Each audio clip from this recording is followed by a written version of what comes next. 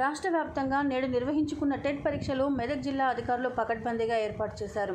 మెదక్ జిల్లా వ్యాప్తంగా ముప్పై ఆరు పరీక్షా కేంద్రాలలో టీచర్ ఎలిజిబిలిటీ టెస్ట్ పరీక్ష నిర్వహణకు అధికారులు పకడ్బందీగా ఏర్పాట్లు చేశారు.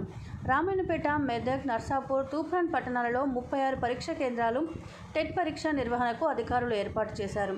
పరీక్షా కేంద్రాల వద్ద వన్ ఫార్టీ ఫోర్ సెక్షన్ నిర్వహించారు. ఉదయం ఏడు గంటల నుండి సాయంత్రం ఈ నిబంధనలు అమలులో ఉంటాయని పోలీసు అధికారులు తెలిపారు. అదేవిధంగా ఆర్టీసీ అధికారులు ప్రత్యేక బస్సులు ఏర్పాటు చేశారు. ఒక్కో తరగతి గదిలో ఇరవై నాలుగు మంది విద్యార్థులు టెట్ పరీక్ష రాస్తున్నారు. అభ్యర్థులకు మంచినీటి వసతితో పాటు అన్ని వసతులు కల్పించడం జరిగిందని పరీక్ష నిర్వాహకులు తెలిపారు. పరీక్షకు ఒక్క నిమిషం ఆలస్యమైతే అనుమతించబోమని తెలిపారు. పోలీసులు పరీక్షా నిర్వాహకులకు కట్టుదిట్టమైన భద్రత ఏర్పాటు చేశారు.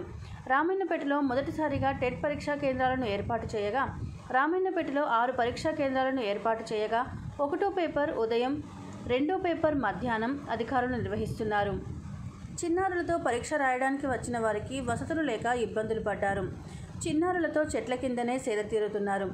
ఎగ్జామ్స్కు వచ్చే దారిలో ఎగ్జామ్ సెంటర్ యొక్క సూచిక బోర్డు ఏర్పాటు చేయలేదని వారన్నారు.